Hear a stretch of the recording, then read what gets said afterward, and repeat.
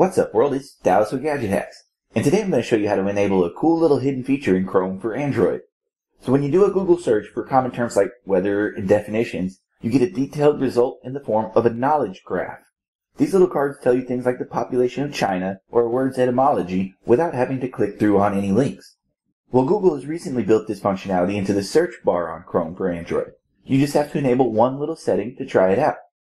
It's in the Chrome Flags menu which is a set of experimental options. To get there, type chrome colon slash slash flags into your address bar. Now from here, tap the three dot menu button and select Find in Page. The option we're looking for is called Answers in Suggest. So type that in, and you should see the option highlighted in orange. Go ahead and tap the little drop menu here, then select Enabled. You'll see a message at the bottom of the screen telling you that Chrome needs to be restarted for that change to take effect. So go ahead and tap Relaunch Now at this point. From now on, when you type a question into Chrome's search slash address bar, you'll get a mini knowledge graph amongst the suggestions. So you don't even have to bother with a full Google search anymore. The information is literally right at your fingertips.